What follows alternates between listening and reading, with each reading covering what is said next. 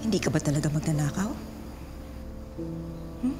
Huwag mo nang ipilit kasi alam mo hindi totoo. Yung pangalan mo, Ophelia. Hindi ba ninakaw mo yan?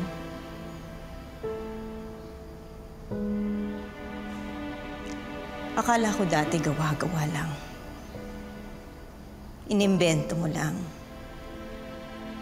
Pero hindi. Totoong tao si Ophelia. Ninakaw mo ang identity niya.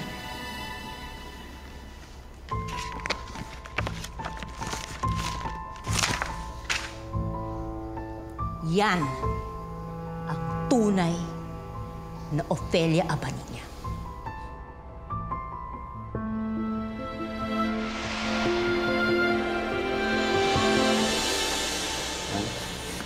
Salamat, thank you. Sige po.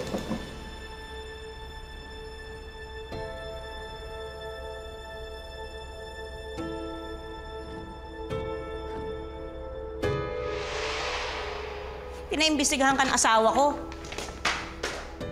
Pasalamat ka na harang ko yung information na yan galing sa investigador.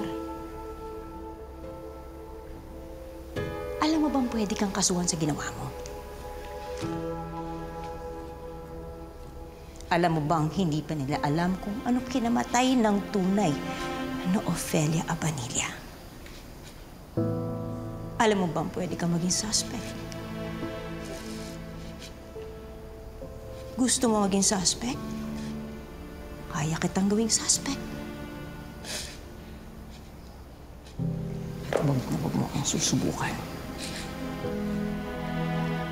Josie. Rosal.